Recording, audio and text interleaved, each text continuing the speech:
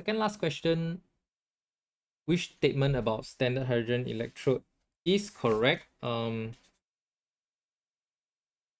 option one is okay. This is like a fact. Standard redox potential of SHE is actually zero, so this is wrong. It contains dilute sulfuric acid concentration. This is wrong because H plus needs to be 1 mole per dm cube. Sulfuric acid has 2 moles of H plus produced. Okay, so this is not correct. Only one, our option here is B. B is our answer.